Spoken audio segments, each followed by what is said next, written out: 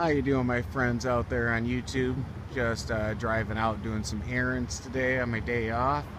And I thought you'd be interested in how they're just destroying our skies today. Look at this mess that they're putting up over there. And go up, up, and look where the sun's at.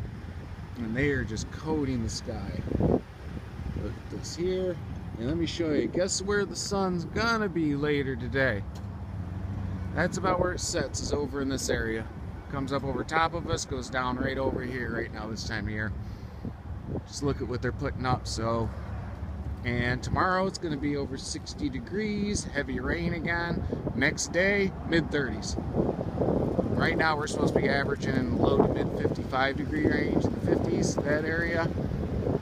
And as you can see, not even close. Right now it's about 34, 35 out. And last year, Easter Sunday, the day before this, 75.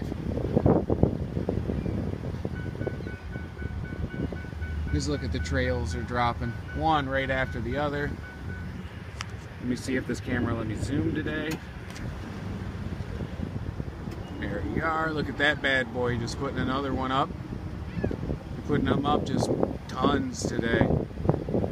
Check out the turkey buzzards something dead over there in the reeds.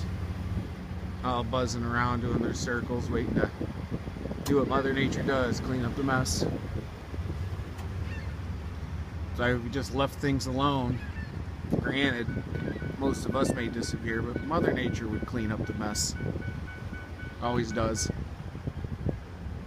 I'm giving you the close-up shot of this horrible, disgusting crap they're spraying. Look at it, it just, it'll be a blanket I'll try to get out and get another video later today, you know, four or five hours from now, and let's see what the sky looks like then.